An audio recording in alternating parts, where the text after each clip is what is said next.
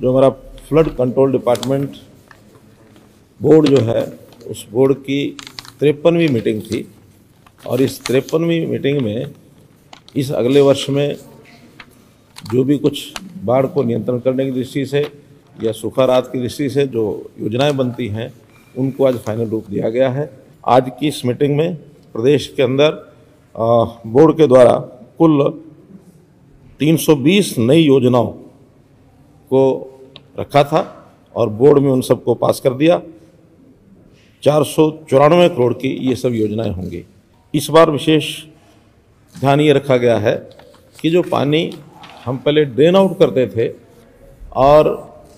बाढ़ आदि की सुरक्षा की दृष्टि से, से के लिए इस बार उसको पानी को दोबारा से वो करने के लिए रीयूज़ करने की जो स्कीमें हैं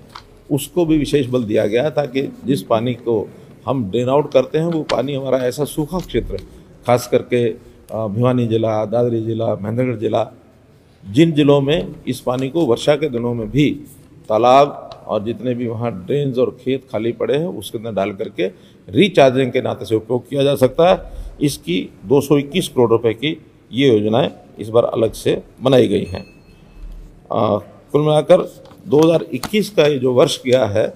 इस वर्ष में वर्षा के दिनों में पहली बार यमुना के क्षेत्र में कोई बाढ़ नहीं आई है। वरना यमुना का क्षेत्र भी बाढ़ के द्वारा प्रभावित होता था, लेकिन सब योजनाएँ पिछले वर्षों बनाई गई थी, उसका उपयोग हुआ। यमुना के किनारे कोई बाढ़ नहीं आई। हाँ ये ठीक है कि भिवानी, रोहतक, झज्जर, हिसार और सोनीपत जैसे जिलों में भारी बारिश के कारण से निचले इलाकों के अंदर पानी रुका, काफ़ी खड़ा हुआ, जिसके कारण से फ़सलों को नुकसान भी हुआ। बहुत एरिया ऐसा था जिसमें फ़सल की बुआई भी नहीं हो सकी।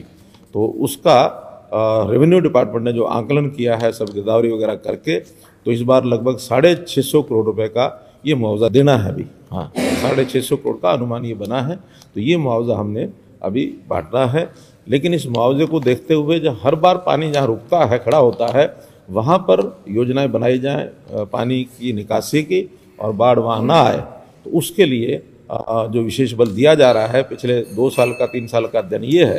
कि हम जहाँ कहीं योजनाएँ पूरी बना लेते हैं, बाढ़ जहाँ नहीं आती है, उसके कारण से हमारा जो जो खराबा है, वो कम होता है, जिसके कारण से जो मुआवजा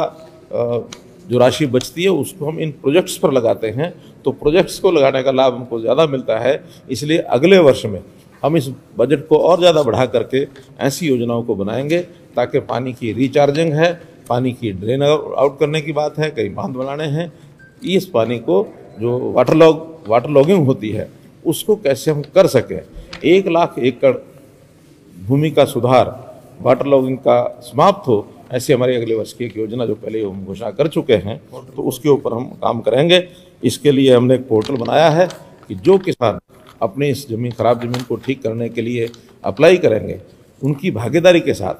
थोड़ा 20 परसेंट का राशि उनसे भी हम लेंगे 80 परसेंट राशि सरकार खर्च करेगी और उस ज़मीन को ठीक करेंगे ताकि वो ज़मीन की पैदावार साल में दो बार अपनी कर सके और उसका वो लाभ कमा सके।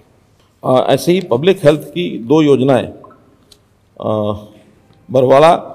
हिसार की एक योजना और एक अम्बाला की योजना। शहरों के अंदर जो पानी भरता है उस पानी की रोकथाम के लिए और उन्होंने दो योजनाएँ बनाई हैं पैंतालीस करोड़ की लागत उसकी आई है उसको भी मंजूर किया गया